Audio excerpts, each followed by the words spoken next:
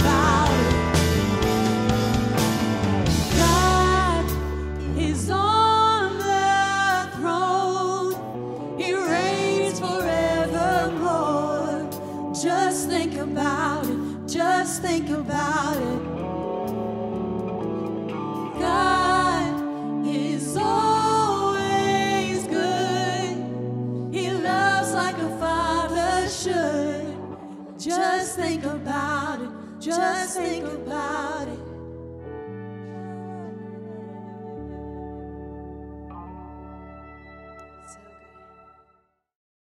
I'm really looking forward to Mother's Day this year, but I have to be honest, uh, the last few years I haven't looked forward to it much. In fact, it's been quite a pain point in my life.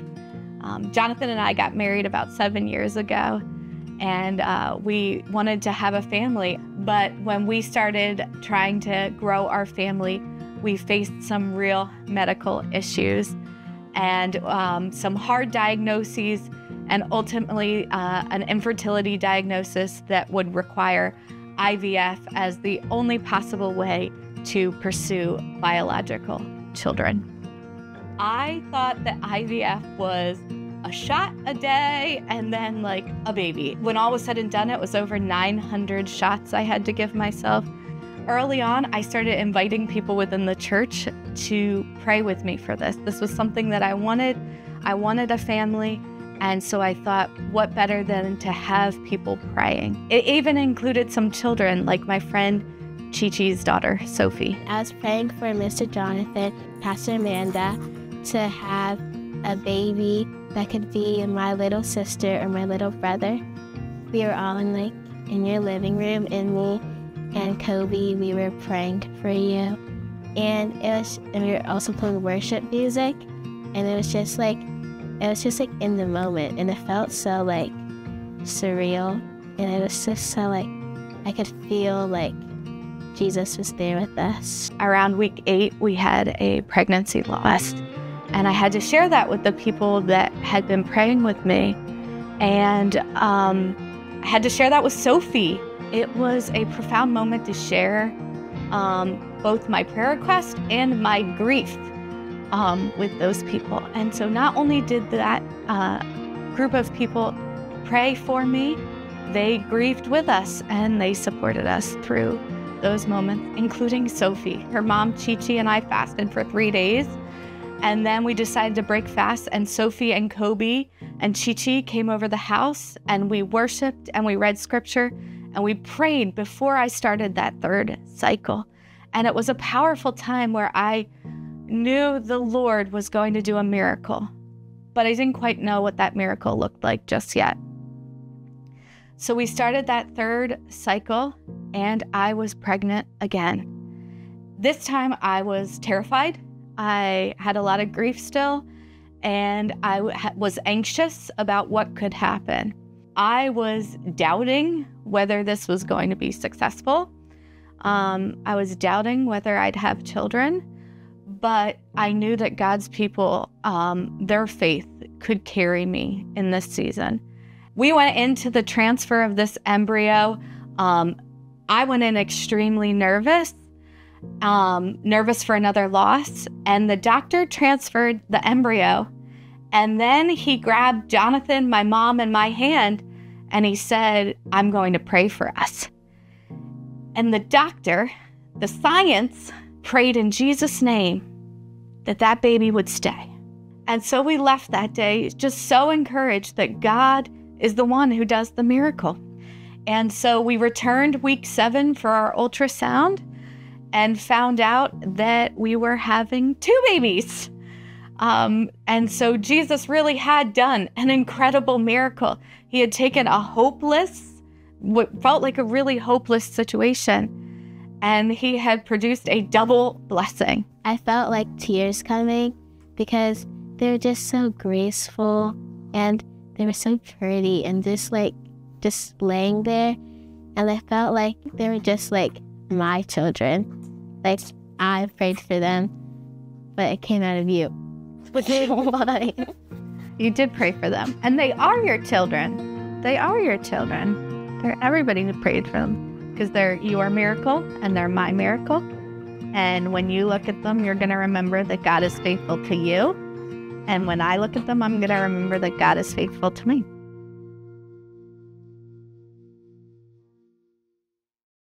We have a God of miracles, and we are celebrating moms this evening. And uh, before we pray for the moms in this room and the moms watching online, I do want to just say that some of you in this room may be a bit like Amanda was. There's some pain surrounding Mother's Day. Maybe you've lost your mom recently. Maybe there's some estrangement with a mom. Maybe you are a, a waiting mom or a waiting dad and we acknowledge that. And God says, God has promised that He is close to a broken heart. You can know His presence in this room in your life tonight. Amen. Well, miracle moms. Um, you know, I think as we look at motherhood, it is a miracle. Whether uh, moms come through a little bit of science, through miracles, through the natural way, whether a mom is made through adoption or fostering, when we see that self sacrificing, giving it all, um, I will never give up on you kind of love that moms show us, we see the love of God. That's really what motherhood and fatherhood demonstrates. It's a little glimpse of the powerful love of God that, ha- that He has for each of us in this room. And I would like to invite um, all the moms in this room to stand. If you're a mom, stand. We want to pray, Victory Church, a blessing upon you. God sees you. God sees you. And in this role, He's there to equip you and help you, whether you have a two month old or a 60 year old. My husband's mom has a 65 year old. but you're still a mom, and your heart never changes to your kids. So let's pray. Heavenly Father, uh, I just thank you for these wonderful women. Lord, through these broken vessels, your love brilliantly shines. And I pray in the name of Jesus, they would feel your blessing upon their lives. And as they parent their children, no matter how old they are, Lord, they would sense your empowerment, your wisdom, and your strength. And I thank you, Lord, that as we watch the day in, day outness of motherhood, Lord, we get a glimpse of the goodness of God Himself. I bless these women in Jesus' powerful name. Amen. Amen. Let's give them a hand as they're sitting down. Go, moms, go, moms. And um, I would be remiss not to take a moment and pray for those watching online or those in this room who are waiting for that baby, moms or men and women who are standing for that miracle. So, will you join me and join our faith in prayer? Heavenly Father, I'm just going to offer up a very simple prayer because the power is in your hands, not in my prayer. Lord, we lay our fear and our um, discouragement at your feet and we join our faith. And Lord, we're asking you, the God of miracles, to do what is impossible. Lord, what is impossible with man is possible with you. And Lord, I pray you'd fill bellies and arms with miracle babies in Jesus' name. And just like Amanda did, Lord, we will give you the praise because you are good and you are kind. In Jesus' name. Amen. All right, moms, on your way out, we have a Miracle Mom prayer card we'd like to put in your hands. So happy Mother's Day. Thank you. Thank you for who you are and all you do. Amen.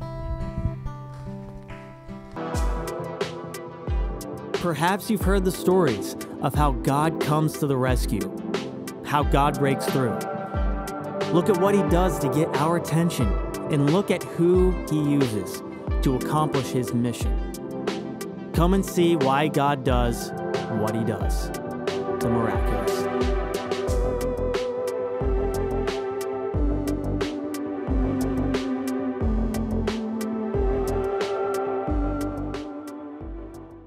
Well, hello, Victory Church. Happy Mother's Day again to all the moms here with us in the room. and online. My name is Haley Riley, and I'm uh, the worship pastor here. And um, this is my second Mother's Day as a mom uh, myself. And a lot of you guys would have seen my sweet little one year old uh, Rowan running around the lobby on a Sunday morning.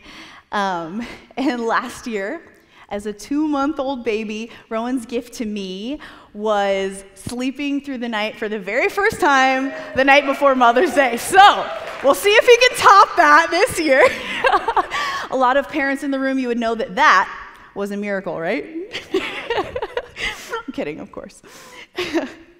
And, you know, we've already acknowledged it, but I want to say again that as much of a joy as it is to celebrate so many of our moms, I know there are a number of us here and online who have a difficult time on Mother's Day because of loss or separation or an unmet desire for children. And I truly believe, as we've already prayed, that God is going to meet you through this message today. And I know some of you have already been so encouraged by Pastor Amanda's story. How powerful is her story? If you know her, you know that that testimony that we just saw barely scratches the surface of the miracles that she and her family have experienced. And I am believing today, right now, in this moment, whenever you're watching this, that God will do miracles in your life whether it's today or tomorrow or the next, God is going to do a miracle for you. So let's pray for that right now. Dear Jesus, we say thank you for your presence in our lives. Thank you that you are not a distant God, but that you want to show yourself to us and to show yourself to the people around us. So we thank you. We thank you for the testimony of those who have experienced your miracle working power.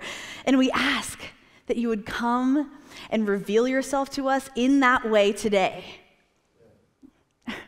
We are so expectant. So come, Lord. In Jesus' name we pray.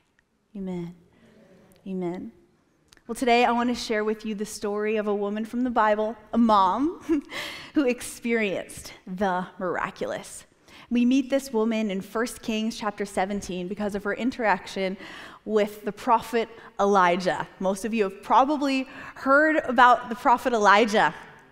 But before we talk about this story, let's talk a little bit about him and what was happening in the culture at that time. Elijah is one of the greatest prophets in the Bible. He's considered, and you'll see his name all throughout the Bible, he's considered to be the model for other prophets. And in 1 Kings, um, Elijah appears almost out of nowhere to the king of Israel at that time, and that's King Ahab. Ahab's reign is often considered to be the epitome of evil. 1 Kings 16:33 says that Ahab did more to arouse the anger of God, of the Lord, the God of Israel, than all of the kings of Israel before him. And if you know anything about Israel's history, you would know that there's some bad stuff in that history of kings. Under Ahab's rule, Israel's worship of the true God, our God, was under threat. Ahab married Jezebel. She was a foreigner who brought with her pagan worship of Baal and made it prominent in Israel. And, you know, when we say that she brought the worship of Baal in, it's not that they were just worshiping some other God than the true God. You know, this kind of worship was really evil, was really evil. It included all kinds of practices that break God's heart and would break your hearts things like child sacrifice. And because of Jezebel's influence, Ahab allowed almost all of Israel's God worshiping prophets to be killed. Their schools were wiped out. The people of Israel were losing their faith in God. In a time of such wickedness, God needed to get people's attention. Great evil like was seen under Ahab, required great works of God through a prophet like Elijah. So, to keep faith in Israel, God chose to work through the miraculous. Now, the prophet Elijah, he escaped being killed by Jezebel, and he went to King Ahab and he pronounced drought on the land as a result of their idolatry, and it happened. God told Elijah where to escape to, and there God provided for Elijah with food and water, and he kept him safe, continued to keep him safe from Ahab and Jezebel. And we're not going to unpack this story today, but this in itself was a miracle of provision and protection. So let's get back to the woman who encounters Elijah. We'll turn to 1 Kings 17, 7 to 14. Elijah had been in that place. There was a brook where God had directed him, but now the water supply had dried up. So, watch for it. God was getting ready to provide for Elijah yet again. Here's what it says Sometime later, the brook dried up because there had been no rain in the land. Then the word of the Lord came to him, Elijah Go at once to Zarephath in the region of Sidon and stay there. I have directed a widow there to supply you with food. So he went to Zarephath. When he came to the town gate, a widow was there, gathering sticks. And he called to her and asked, Would you bring me a little water in a jar so I may have a drink? And as she was going to get it, he called, And bring me, please, a piece of bread. As surely as the Lord your God lives, she replied, I don't have any bread, only a handful of flour in a jar and a little olive oil in a jug. I'm gathering a few sticks to take home and make a meal for myself and my son, that we may eat it and die. Elijah said to her, Don't be afraid. Go home and do as you have said. But first, make a small loaf of bread for me from what you have and bring it to me. And then make something for yourself and your son, for this is what the Lord, the God of Israel, says The jar of flour will not be used up, and the jug of oil will not run dry until the day the Lord sends rain on the land. There are a few things I want us to take note of as we have heard this story. First, Zarephath was a Gentile city. In fact, this was the very region that Jezebel was from. So put yourself in Elijah's shoes for just a second here. God had just saved you from Jezebel, who was going around literally killing all of the prophets. Your mission is to show God's truth to Israel, who was caught up in worshiping false gods, and God decides to send you into enemy territory for help. This would have been a challenging move. And second, God sent Elijah to a widow. If it wasn't unlikely enough already, God told Elijah to meet a widow who, in ancient culture, had the lowest of places in society. Women had to completely rely on men for resources, and so when a husband died, widows were generally left destitute. It was up to a son or another male relative to take care of her. And so, though this woman, she had a son, it would seem that the son was probably too young to actually be caring for her at this time. So, as we meet this widow, she's gathering up sticks at the gate of the city. And commentators write that this action of the gathering sticks, it actually implies that she was in extreme poverty. Because though there was a drought, a drought doesn't mean a lack of wood. So, this woman, through whom God had promised to provide food to Elijah, had nothing, nothing but her home. And she tells Elijah exactly that. She had no bread to share. In fact, she's preparing a final meal for her and her son. She's getting ready to die. And I think we so often forget that these stories we read in the Bible, they're not fairy tales. These are real people who faced real needs. So, can you imagine this? Imagine the defeat she must have been feeling as she prepared to make this last meal, as she resigned herself to the knowledge that she couldn't, as a mother, save her own son, provide for her own son, that she was ready to go and starve. She had no hope that she and her son could make it through this drought. And it's to this woman, in this desperate and heartbreaking situation, that Elijah makes what, at face value, is honestly a ridiculous request. Elijah essentially says, Don't be afraid, go do what you said you were going to do, but first make me some bread. then God will make sure you have enough oil and flour to last through this drought, I promise. Ah, if I was that woman, I'd probably be like, um, hello, sir, did you not just hear me say, I only had enough for me and my son, and we were literally gonna go die? Hello. this situation is worthy of fear. Let's be honest, it's worthy of fear. And he says, Do not be afraid. And you want her to make some stranger some bread first with the very little they have left and deprive her own son of that. and even more so, why would she expect God to provide for her? It's likely that she believed in God, but not necessarily as her God. She probably worshiped Baal.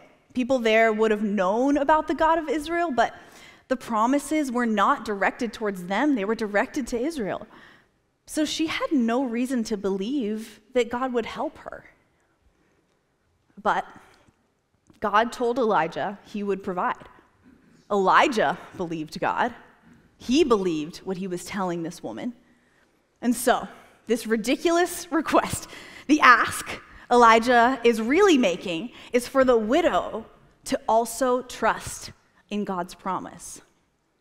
Most of us probably wouldn't blame her if she had said sorry, but no. So let's turn back to verse 15 and see how she responded. Says, She went away and did as Elijah told her. She did it. She did as Elijah told her. So there was food every day for Elijah and for the woman and for her family. For the jar of flour was not used up, and the jug of oil did not run dry, in keeping with the word the Lord spoke by Elijah. Against all logic, this widow chose to trust the promise. In an act of obedience to God, this Gentile woman made Elijah some bread, and God provided. You see, God's commands are promises. God commanded Elijah to go to the widow, and he commanded the widow to provide for Elijah, and in turn, she would be provided for.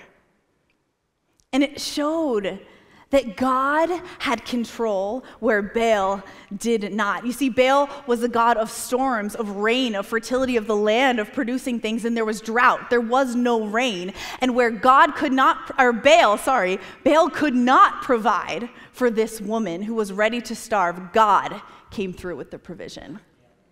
And on his Baal's soil, no less, we know it was God's. It didn't matter that this woman was a Gentile that the other promises weren't directed toward her at the time.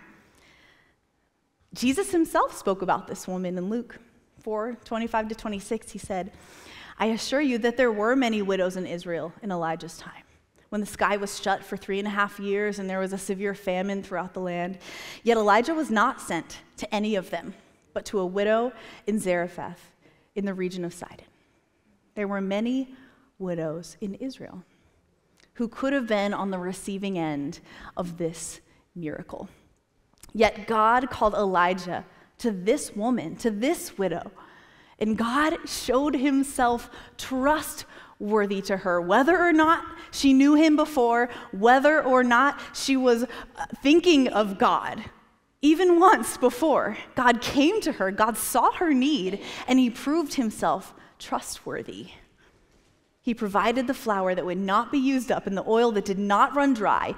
God was true to his word.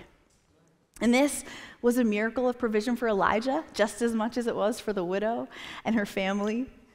And as they daily used the flour and used the oil that they had in front of them, they had to continue to trust God to provide for the next day, and the next day, and the next day. So, as they made their bread for the day and they ate and they were satisfied, they had to trust that tomorrow it would be there too. And in doing so, day after day after day, for probably a few years, both Elijah and the widow learned to put their continued faith and trust in their provider rather than in the provision. The ridiculous request, an act of obedience, there might be a step of faith you have to take before your miracle comes.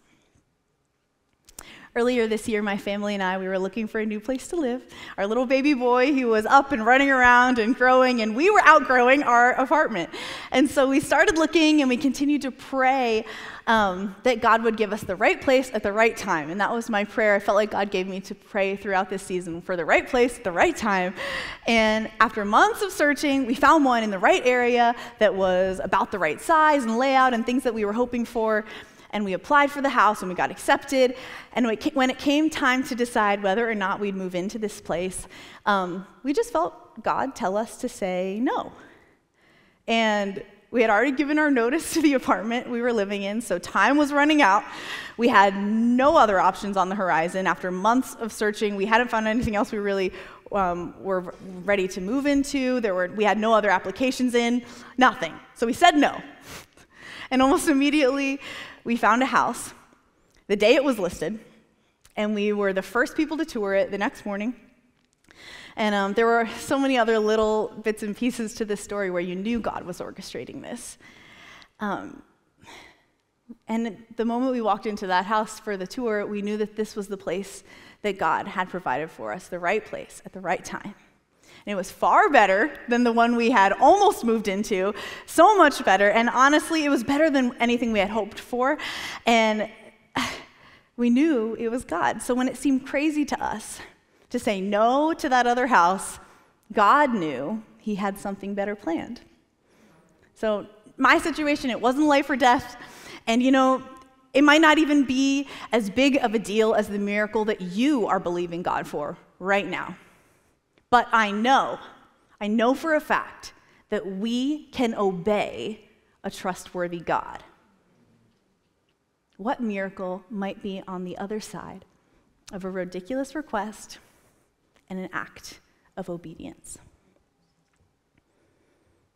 So, back to this woman.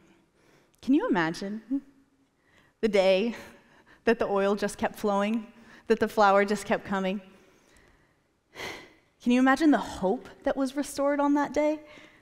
The future that this mother began to imagine for her and for her son as each day, each day unfolded, and still they were alive. They had food to eat.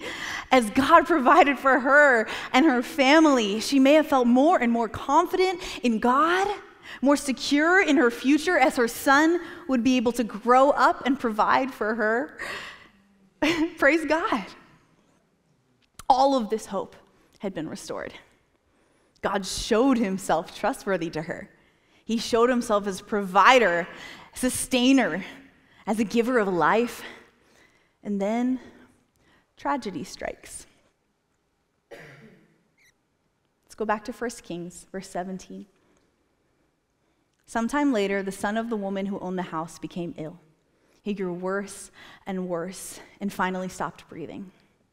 She said to Elijah, What do you have against me, man of God? Did you come to remind me of my sin and kill my son? Remember, the loss of the son in this situation was also a loss of hope for her future. Yet again, she blamed herself for the loss, her sin, and she doubted God's purposes in all of this. So Elijah replies, He says, Give me your son. He took him from her arms and carried him to the upper room where he was staying and laid him on the bed. Then he cried out to the Lord, Lord my God, have you brought tragedy even on this widow I am staying with by causing her son to die? Then he stretched himself out on the boy three times and cried out to the Lord, Lord my God, let this boy's life return to him. The Lord heard Elijah's cry, and the boy's life returned to him, and he lived. Elijah picked up the child and carried him down from the room into the house. And he gave him to his mother and said, Look, your son is alive. And then the woman said to Elijah, Now I know that you are a man of God, and that the word of the Lord from your mouth is the truth. Here, tragedy is turned over to a trustworthy God. In the midst of the widow's doubt, her questioning, her uncertainty, in all of this, her hopelessness, yet again, the widow was quick to hand her son to the man of God. You see, when she first met Elijah, she was resigned to die, for her son to die. But then she experienced that life giving miracle. God sustained her and her son with food throughout the drought. So this time, when tragedy struck, she didn't want her son to die. She wasn't prepared to go home and die. Her doubt didn't stop her from entrusting her son to Elijah. But even Elijah wondered what God's plan here was. And yet, he immediately cried out to God on her behalf. One commentator writes that Elijah's faith in the midst of uncertainty allows God to use him to demonstrate God's life giving power, his constant watchfulness, and his compassion, even to those outside of the elect nation. So we see that the very same God who provided oil and flour provided life for the widow's son. The widow, the son, and even Elijah, they had an encounter with the giver of life. With the giver of life. God's a provider, sustainer. God, the giver of life.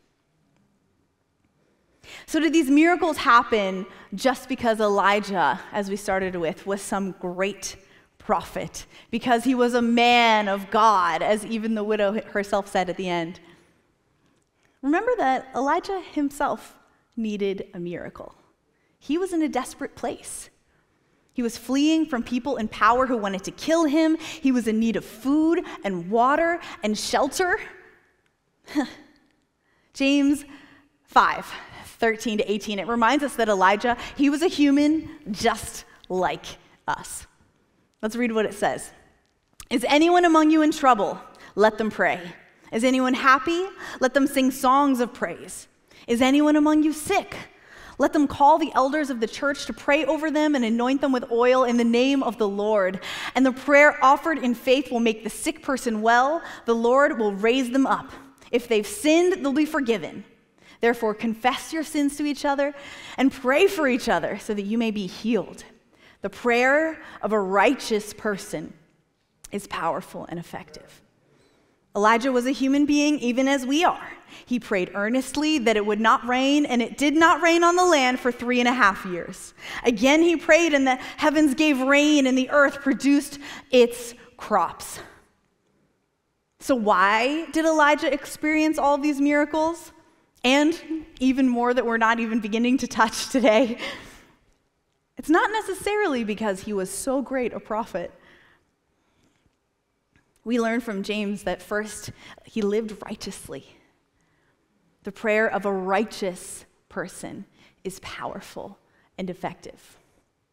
So for us, we live righteously by pursuing God's glory over anything else, by seeking to become more and more like Jesus every single day, and knowing that it's only by God's own work in us that makes us righteous. And as we live righteously, the Holy Spirit moves us to pray effectively. So, second, Elijah, he prayed. As we saw Elijah do, and as was encouraged in James, what do we do when we're in trouble, when we're sick, when we've sinned? We pray. We pray earnestly. We pray for the miracle. We follow the Spirit's prompting. Sometimes, maybe a lot of times, we may not experience the miracle. We don't know how long the widow had been starving. Maybe she was saving every last bit of food that she could find, hoping for something to change. And she got to that place of hopelessness. She had nothing left. But we do know that God had a plan and he saw her need. Third, Elijah and the widow trusted God. Even when God's commands didn't seem to make sense, Elijah believed God. The same can be said about the widow. She wasn't a prophet, and yet we can follow her example of faith. When she had no reason to believe that God would be true to his promise, she obeyed. And you and I, we have, I'd say, a little bit of an advantage over this widow. We have seen God move. We have heard testimonies of his faithfulness through his word, through the story we heard today, through a story of a friend. Many of us, like Elijah, have experienced God's provision in some way or another ourselves. And God's sovereignty, it calls us to trust Him and to obey Him. His ability to provide and to heal and to protect us, it shows that He is trustworthy. When we pursue God and we continue to put our trust in Him, we put ourselves in a position to receive a miracle.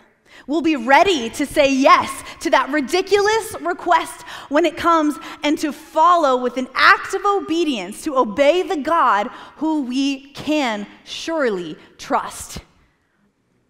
And even when we ourselves are in need of a miracle, God can use us to see a miracle come to pass in other people's lives. We aren't meant to do this on our own.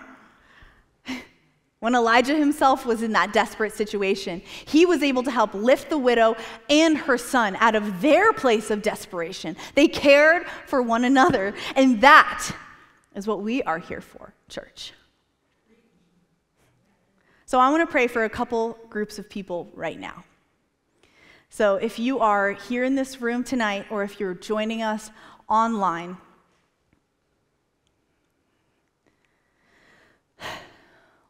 Let's pray. The first group I want to pray for is those who are feeling like they are too resigned to death. You're tired of praying for your miracle. When it feels like God is rewarding your obedience to his word, like the woman and the flour providing for the prophet, when he seems like he's rewarding it with suffering like when the widow lost her son. When it seems like death is more prevalent than life, when it's difficult to believe in the life giving power of God, if you are at the end of believing for a miracle and you have no prayers left in your body, I want to pray for you today. And to those who are desperate for a miracle, you ready to see a miracle right now. You're believing for it. You know, sometimes it takes an extreme crisis for us to turn to God. The widow's son's death, maybe a pandemic. A Baylor University academic study has data that says those whose lives are unstable, uncertain, or threatened are more likely to experience a miracle. So if you're someone who society would call maybe disadvantaged, I want you to know this God sees you, He sees your desire for Him, and He is ready to meet you. Your place of greatest need is a place of opportunity for God to do something even greater. And to those of you who are in this room or watching this, and you just desire more of God, I want to encourage you get desperate. Get desperate on behalf of your neighbor who is crying out. Get desperate on behalf of the person who is at the end of their prayers, who no longer believes for that miracle. I hope you feel ready to get desperate before God. So, right now, if you are any of those people, if you are resigned to death, if you are desperate for a miracle, if you, or if you desire more of God, wherever you are right now, I want to encourage you to stand to your feet. Don't be shy, just stand to your feet. It's just an act of saying, God, I'm here and I'm ready to meet you. You might have nothing left to give him, but you're open to what he has. So, right now, for the person who can't believe anymore for their miracle. God, we stand alongside them, we lift their heads. We pray on their behalf, God, for you to intervene in their lives. Lord, would you come and move in power? Would you revive? Would you restore? Would you encourage? Would you lift weary heads? Would you take away burdens? Would you refresh them in a way they haven't felt refreshed in maybe years, God, when they feel like they're tired of being the strong one, of the one persevering, of pushing through, of praying and praying, and their knees are just worn out? God, would you meet them right now and just do a miracle of life giving power in them. Even as we pray right now, we stand with them and we we say, remember the miracles that you have seen. They might not have been yours, but He's the same God as the one who provided the oil, who provided the flour, and He's going to do something in you right now. When it's hard, Lord, help our unbelief, restore our trust in you, for you are a trustworthy God. And for those who are desperate for a miracle, would you come and meet them? We are pursuing you with all that we have. And God, we know that it's not reliant on us that our miracle comes, but we are saying, Come. So whether it's healing, whether it's the restoration of a relationship, maybe a, a, parent who's praying for a child to come back home, to come to Jesus. God, would you begin to stir those hearts right now? Would you begin to heal people's bodies? Would you heal people's minds? Would you heal their souls, God? Would you come and make broken things come back to life, come back together in Jesus' name? God, we believe that you can do it. We believe that you want to do it. We're not afraid to ask God according to your will. So we ask that you would come, do miracles in this place, do miracles in the lives of those watching this at home or wherever they are. And God, may you get all of the glory in Jesus' name. Amen. Amen. You can be seated for just a minute. I don't want to leave tonight without giving an opportunity for people to um, come to Jesus, maybe for the first time to have an encounter with that giver of life. So if you want to say, Come, you've seen maybe just a taste of what God can do, and you say, I want that. Would you repeat this prayer after me? And everybody here is going to pray it alongside with you. He's going to come and make your life new. Say, Dear Jesus, thank you for being the giver of life. Today, I choose to walk in that life. Forgive me for the things I've done wrong. I turn from my old way of life. And I choose to follow you, Jesus. I trust in your promise to forgive me and give me new life, just as you died and were raised to life for me. Thank you for the miracle of salvation in me. In Jesus' name we pray. Amen. Amen. Well, if you just prayed that prayer, expect something good from God. He's ready to meet with you. He's just entered into your life, and it's never going to be the same. It will never be the same. Church, if you see God move as a result of our prayers tonight or any time throughout this series, please let us know because I hope that you feel encouraged from hearing the stories of miracles from Pastor Amanda, from the scripture. And we want to be able to continue to encourage people to believe for what God can do because He is a miracle working God and He's not done yet. Amen? Amen. Amen. Well, if you made a decision to follow Jesus today, congratulations. Your life, your eternity is forever changed. And hey, maybe you decided to rededicate your life to Jesus today. Expect change in powerful new ways. If you did decide, please let us know you did. We'd love to celebrate with you. You can let us know with the info on the screen. We're going to send you a free Bible, but we're also going to connect you with spiritual growth opportunities like our growth track and baptism. Congratulations, though. You made the best decision. And hey, It is almost June, which means summer life groups have almost started, and you belong in a life group. We've got online groups if you are at a distance, but if you are close to us, I want to encourage you to go ahead, log on to getvictory.net slash groups and take a look at some of our in-person groups. I can't tell you what an encouragement life groups have been in my life. Even in the high highs and the low lows, no matter what, I've been a part of a life group and God has encouraged me through others. Uh, he's introduced me some to some great friends and some great connections, and I have experienced more of what it's like to be the church through life groups. So go ahead, take a look at all the options. There's over 50 this summer. I know that there's one that's going to work for your schedule, your interests, and also works for your family. So take a look at those and sign up today.